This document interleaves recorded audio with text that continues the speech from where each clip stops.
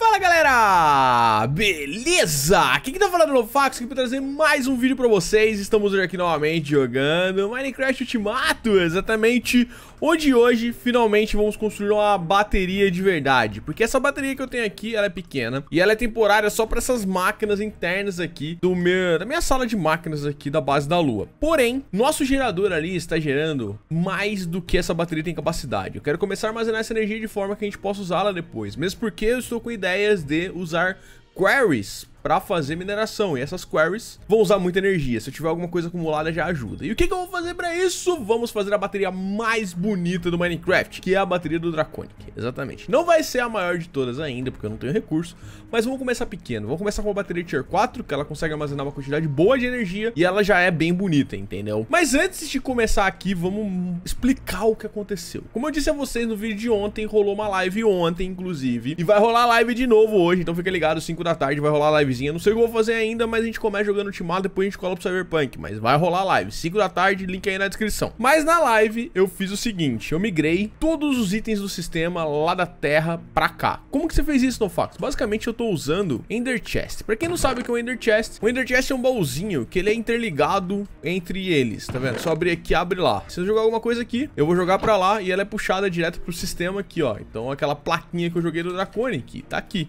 Tá vendo? Bonitinho. Como que puxa pro sistema no fax? Aqui embaixo, galera. Eu tenho um ME Import Bus, que tá ligado direto no meu Ender Chest. Isso aqui é um setup muito comum que eu uso, porque eu começo a distribuir Ender Chest por tudo quanto é lugar e fica fácil de eu jogar os itens. Inclusive, eu tenho também aqui uma bolsinha que chama Ender Pouch, que também está conectada no Ender Chest. Então, se eu tiver em qualquer lugar, qualquer dimensão e quiser jogar as coisas pra dentro do meu, do meu sistema, simplesmente eu abro ela, jogo aqui, isso vai ser automaticamente lançado pro interior do meu sistema. Isso me ajuda muito para aliviar o meu inventário. É um negócio que eu uso em quase todos os meus mundos. Eu criei esse setup lá no Facustand 4, acho. E eu uso até hoje. Além de ter transferido os itens e feito mais HDs, eu trouxe. Eu refiz algumas máquinas aqui. Então a gente refez aqui as máquinas do Endereo, o Infuser também. Eu tenho o Metallurgic Infuser também aqui do Mecanismo, porque eu pretendo mexer com o mecanismo em breve. E esses, essas máquinas aqui, por incrível que pareça, eu setei também uma farmzinha automática, uma fábrica automática. Sabe aquilo que eu fazia lá na fornalha do Tinker? Sim, então. Tá sendo feito agora nesse pulverizer junto aqui com a Redstone Furnace. E da mesma forma que o Ender Chest, isso aqui também tá ligado no sistema. Eu tô sendo, lançando os itens aqui, os ores que eu quero duplicar pelo sistema aqui. E eles estão saindo por, por, por, esse Ender Conduit entrando naquele Ender Chest lá. E do Ender Chest vai pro sistema. Então tá tudo interligado, tudo automático. Tanto que eu liguei também eu fiz mais um, né? Void Miner e interliguei os Void Miners pelo Ender Chest também. Tá vendo que bonitinho? Então, ligado. É bonito não tá, tá horroroso, na verdade. Mas aqui é tudo temporário, tá? Então tá ligado um no outro, os dois estão minerando e eu tô procurando muita, com muita vontade o Eródio. A gente só tem nove por enquanto. Tá bem lento isso aqui. Mas beleza, meu sistema tá funcionando, então a partir de hoje acredito que a gente está independente da base no Overworld. A gente pode fazer as coisas direto na Lua. E a ideia é cada vez mais eu passar tempo aqui na Lua e trabalhando aqui pra ficar bonitinho. Mas vamos lá, o que, que você vai fazer hoje então, no Fox? A gente vai fazer a bateria do Draconic. Pra quem não conhece o Draconic, é um mod, é um dos que eu mais gosto também. É um modzinho que ele traz armaduras, algumas soluções de energia, alguns crafts diferentes, um, um boss dos mais fortes que eu já vi no Minecraft. Ah, você já deve ter visto essa armadura aqui, só um exemplo do que ele tem. Ah, você vai mexer com a armadura hoje? Não, por enquanto não. A gente vai fazer o quê? Só a bateria por enquanto. A bateria é esse cara aqui, ó esse Energy System. Como que ele funciona? A bateria é desse jeito mesmo, ela é bem bonita e ela tem vários níveis. A gente vai do nível Tier 1 até o nível Tier 8. O Tier 8 é a bateria infinita, praticamente. É quase impossível lotar ela. Até o Tier 7 até que é tranquilo. A gente vai trabalhar com o Tier 4. Por quê? Ele não usa muito recurso. A gente usa 54 Draconium Block, 1 Energy Core, 4 Energy Core Stabilizer e 26 blocos de Redstone. O que, que eu vou fazer primeiro? Vamos checar se a gente tem 26 blocos de Redstone, que é o que mais me preocupa. Eu tenho 1.100 26 redstone aqui. Isso aqui dá pra fazer 26 blocos. Eu acho que dá com tranquilidade. 26 blocos eu usei aqui, 300 mais ou menos. Então a gente já tem o nosso core da bateria pronto. Ah, e Draconium no Fax. Na verdade, eu tenho o Draconium aqui. Draconium é esse ore aqui, pra quem não conhece. Você encontra ele normalmente o The End. Aí ele vai ter a pedra do The End, não essa pedra normal aqui. Porém, nesse modpack aqui é possível encontrar muito Draconium numa uma dimensão chamada Deep Dark. Então se você procurar aqui Deep Dark, você vai achar o portal pro Deep Dark, que é uma dimensão do Extra Utilities. Pra fazer ele é só pedra. É que são as pedras comprimidas, que nem a gente fez no vídeo de ontem pra trollar Cherry. Só que são as pedras Double Compressed e Triple Compressed. Porém, nessa brincadeira aqui vai umas duas mil Cobblestone, então já se prepara pra fazer esse portal. Eu já tenho esse portal, fiz ele algum tempo atrás, eu fiz em live. E a gente vai utilizar ele hoje, eu vou mostrar pra vocês o Deep Dark agora. Onde é que tá o portal? Tá aqui, ó. Tá aqui o portal pro Deep Dark, pra gente entrar é só ficar em cima, ele vai ficar rodando esse negócio. E aí daqui a pouco a gente é teleportado. Beleza, tamo aqui. A gente chegou aqui no Deep Dark, você vai ver, você sempre vai spawnar numa região cheia de pedra, assim, você vai imaginar que o mundo é inteiro pedra. Na verdade, não, mas tem algumas particularidades desse mundo que são muito interessantes. Primeiro, se você olhar o Y, que tá ali embaixo do meu mapa, a gente tá em 178 de altura. A gente sempre nasce, o Deep Dark é uma dimensão igual ao Nether, é uma dimensão de caverna, ou seja, ela tem topo e base. E a gente sempre nasce perto do topo, então pra você achar a dimensão especificamente, você vai ter que cavar pra baixo. E outra coisa que é importante você saber antes de você começar a andar, não sei se estão vendo, tem um monte de tocha aqui, ou seja, a gente tá num lugar muito bem iluminado. O Deep Dark, ele vai começar a te dar dano se você tiver lugar sem iluminação. Então lembra disso e lembra sempre de levar tocha na mão. Porque se você começar a tomar dano, você vai morrer e pra recuperar as coisas vai dar trabalho. Eu já cavei pra baixo aqui. Eu cavei meio em forma de escada, depois eu fiquei de saco cheio, cavei pra baixo, depois eu comecei a voltar que eu achei que tava bugado e cavei mais pra baixo. Aí eu cheguei aqui, que a gente tá perto de um Creeper. Outra coisa importante pra você saber sobre o Deep Dark. Todos os mobs aqui dentro, eles têm bem mais vida que no Overworld, então... Sai de mim, demônio.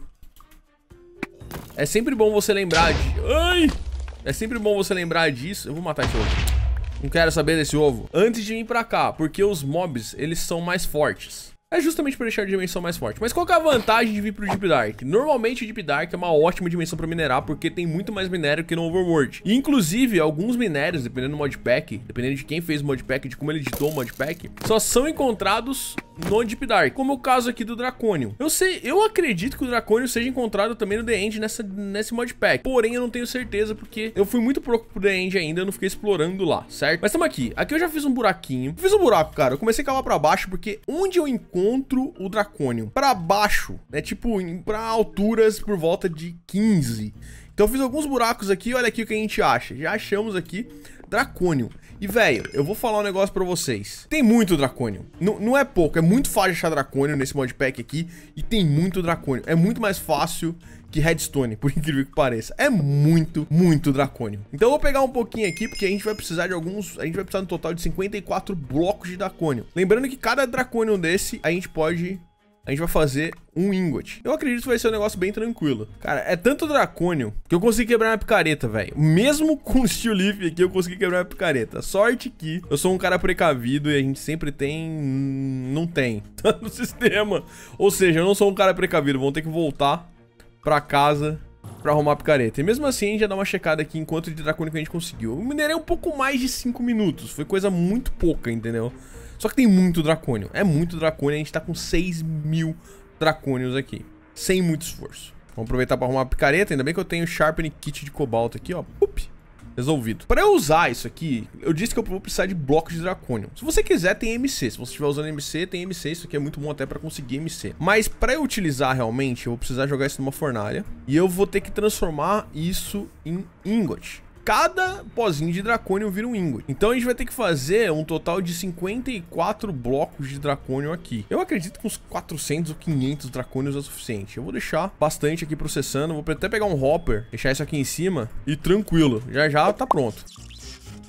Muito bom, conseguimos aqui os blocos de Draconium. Temos 60 blocos aqui, é mais do que o suficiente. Eu ainda tenho 400, 400 e poucos Draconium. É muito fácil formar Draconium nesse modpack, mano. Que seja, isso é muito bom. Estamos aqui formando mais um pouquinho. E agora, falta o quê? A gente falta dois... Ainda faltam dois componentes para nossa bateria. Na verdade, mais de dois. A gente precisa de um Energy Core, que é esse cara aqui. Para isso a gente vai precisar de alguns Draconic Core.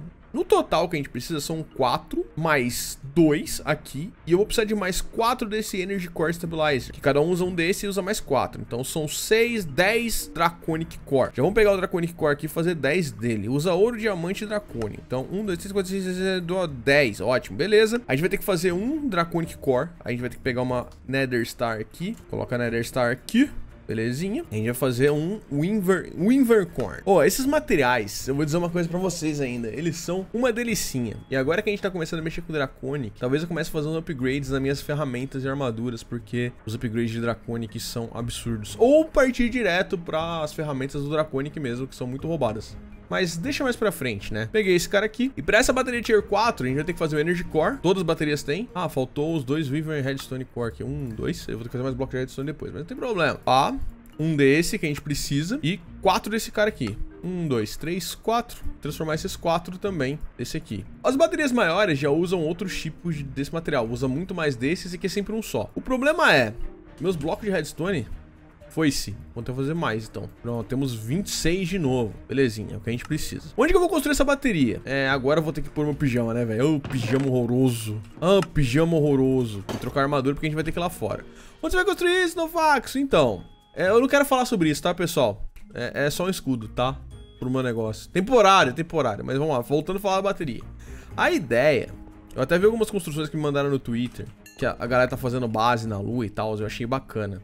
Eu pensei em fazer a bateria dessa região aqui, só que ela maior zona, ela pra fora da base e um anel dando a volta. Isso lembra muito também minha construção lá do infinito, que era o Fusion Reactor. Na verdade, quem construiu pra mim foi o Trident na época, mas eu vou tentar replicar alguma coisa. Porém, minhas habilidades de builder são um pouco restritas, digamos assim. Então, eu vou deixar pra construir isso no mundo de testes e depois eu migro pra cá a construção. Eu sei que tem aquele mod dos schematics, então acho que é uma boa. O grande problema sempre é pressurizar a base. Toda vez vez que a gente tá falando de base na Lua, a gente tem que pressurizar e lembrar também que a gente tem que colocar proteção pelos asteroides. Então temos que tomar bastante cuidado com isso. A princípio eu vou deixar a bateria do Draconic pra fora. Ah, mas e os meteoros no Faxo? Cara, a a, o entorno da bateria, ele é de Draconium. Dracônio é muito forte também, então eu não acredito que o meteoro seja capaz de explodir o Dracônio. Então esse não é uma preocupação. E se por acaso parar de funcionar, eu venho aqui e reparo ela. Vou colocar ela aqui mais ou menos.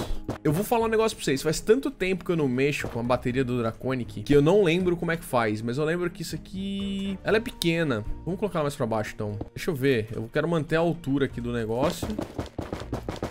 Então ela vai ficar... Ela vai... É isso mesmo. Vou colocar aqui mais ou menos esse negócio. Tier up... Cheer up, cheer up. Beleza. Eu não lembro como é que eu faço pra aparecer.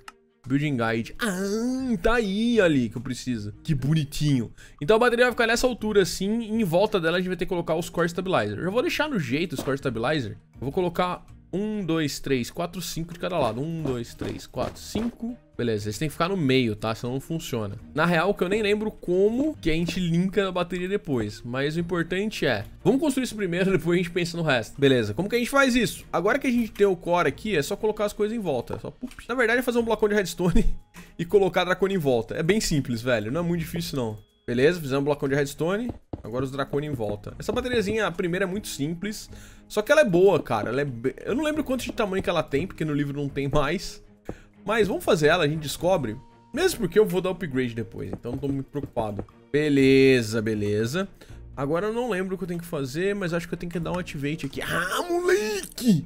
Coisa bonita, coisa bonita. E a gente tem um total aqui de 9.88 GHz para armazenar. É bastante coisa. É bastante coisa. E a taxa de transferência dela é basicamente infinita. Então é bastante coisa, só que, como eu disse, ela é pequenininha. Eu vou manter aqui depois a bateria. Hum, a bateria, eu vou moldar minha base depois numa bateria Tier 8, que é a maior zona. Então ela vai ser bem maior que isso e a base vai ser bem maior. Inclusive, eu acho que parte da bateria vai entrar no chão. Então a gente vai ter que fazer uma cratera pra absorver essa bateria. Com a ajuda de um builder, né, galera? Com a ajuda de um builder. Não, não, não builder pessoa builder. Builder máquina mesmo. Tô falando porque o builder faz esfera. Então, beleza. Deixa eu só quebrar isso aqui, porque eu não quero esse negócio horroroso. A gente vai fazer uma ponte pra lá depois. Só que eu já vou começar a construir mesmo com essa... Eu vou usar essa bateria como referência depois. A gente vai manter o meio da bateria aqui se eu não tiver construído muito perto da minha base, num lugar que não vai dar certo, mas... A gente pensa nisso depois. Ah, no Fax, agora? Como é que eu faço para transferir energia? Então, na verdade a gente tem uns pylons também do, do próprio Draconic que a gente consegue fazer isso. Eu vou falar que eu não lembro como é que funciona, mas a gente vai descobrir. ah, lembrei. Isso aqui é onde a gente transfere a bateria. Tá, eu vou colocar os pylons. Deixa eu pegar uns blocos aqui da lua mesmo pra gente fazer esse chão. Agora que o piso tá certinho aqui, vamos fazer dois pylons pra isso. Então Pylon é esse cara aqui, Energy Pylon. Não é muito difícil fazer, vou ter que fazer mais dois Draconic Core. Vou precisar de esmeralda e diamante e olho de Enderman. Olho de Ender, né? Eye of Ender. Ah, eu só preciso de um. É o parzinho já faz. Vou precisar de vidro também, porque a gente tem que colocar vidro em cima dele, senão não funciona. Ah, agora eu fico a dúvida. Será que eu vou precisar fazer a chavinha do Draconic Se eu preciso, talvez eu precise fazer essa chave, mas eu vou tentar fazer uma wrench normal, que talvez a wrench normal funcione. Então, beleza. Como que isso aqui funciona? A gente vai colocar um de cada lado aqui. Um vai ser uma saída, o outro vai ser a entrada. Então, pra gente fazer isso aqui, se não me engano... Ah, ele funciona aqui. Não, não posso pegar. Ih, buguei o negócio. Peraí, quebra. Coloca de novo. Coloca... Ai, colocar o vídeo de novo. Ai, caramba. Eu preciso fazer logo o controlinho, mano. Tem um controlinho brabo aqui do Applied. Eu vou ter que fazer ele. Mano, tem muita coisa pra fazer, velho.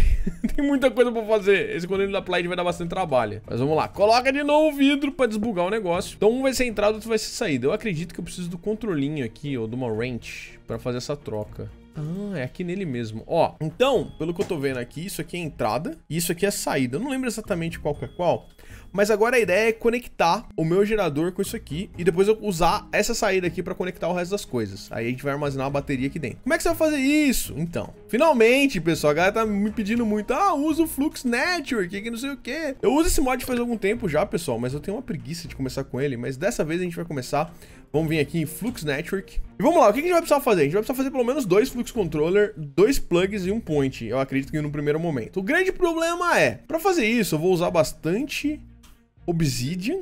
Ah, nesse mod aqui é diferente, velho. Na versão mais nova, nas versões mais novas do Flux Network, tem um processinho que você tem que pegar Bedrock, tem que ter Bedrock, Obsidian em cima, jogar isso no meio, você prensa e faz essa Flux. Aqui não, aqui a gente tem Block of Black Quartz. Black Quartz a gente consegue fazendo, pegando Black Quartz do Ectoil Addictions. Oh, beleza.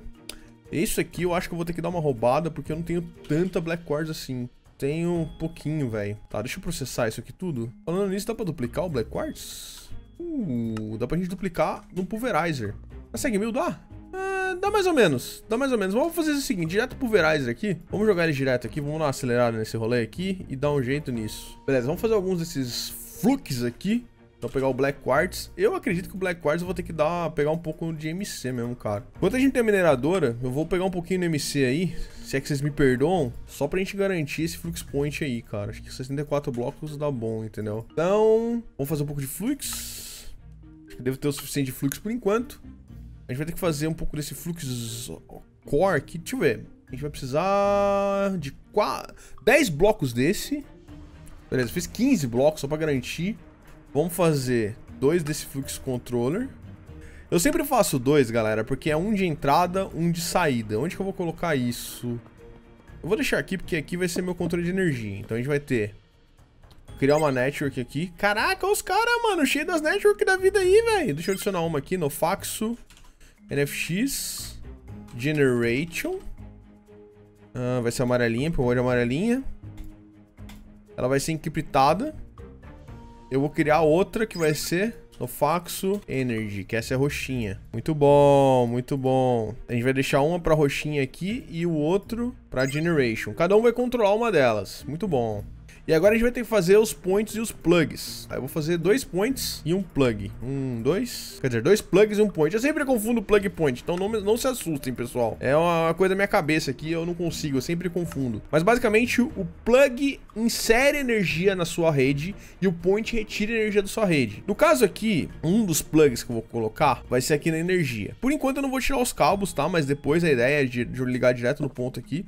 Como esse cabo aqui, ele passa, ele transfere isso aqui tá gerando 14 milhões, certo? Esse cabo aqui transfere 14 mil. Esse cabo aqui transfere 20 mil. Então não tem problema ligar isso no cabo. Vou tirar ele daqui. Vamos ligar em outro ponto aqui, melhorzinho. Ah, vamos selecionar a network aqui. Deixa eu selecionar aqui no Fox Generator. Muito bom. E a gente vai ligar o outro, o plug, aqui onde é a entrada de energia, que se não me engano é aqui. Então a gente vai ligar aqui no Fox Generation. Ah, mano. Ou seja, Agora aquela energia tá transferindo para cá e aqui a gente vai começar a armazenar essa energia. E aqui eu já vou deixar um plug pronto justamente com a outra network, que é a Nofaxo Energy. E aí eu vou poder retirar a energia dessa bateria. Então nesse, nesse momento a gente já tá começando a energizar aqui essa bateria. Em 6 horas ela vai energizar, mas ela cai aqui e volta porque o que acontece? A gente tem que lembrar que a gente tá usando aqui dois Void Miner ligados nelas. Isso aqui tá minerando pra mim. Cada um usa mil. Tirando que eu tô armazenando energia, passando energia pra dentro ali da minha base. Mas tá tudo bonitinho agora, tá tudo funcionando, a gente tem a bateria. Pessoal, eu não sei quanto tempo vai ficar de vídeo no final. Eu acho que vai ser um videozinho mais curto, mas eu precisava fazer essa bateria. Eu acho que é uma coisa importante pra vocês verem. A galera gosta de bateria. Mas é isso, é o que eu falei. Essa bateria aqui é a bateria mais bonita do Minecraft, na minha opinião. Eu gosto do Draconic no geral, mas uma coisa que eu tenho um carinho especial são as baterias são animais, velho. São animais. Elas são bonitas, elas são eficientes, elas são perfeitas, tá ligado? É muito louco. E é isso, galera. Espero que vocês tenham gostado de mais um vídeo aí de Minecraft Ultimato. Se gostou, como sempre, quer deixar o like, se quer compartilhar, se inscreve no canal se você for inscrito. E é isso, eu vou ficando por aqui. Um grande abraço, valeu, falou, é. Fui!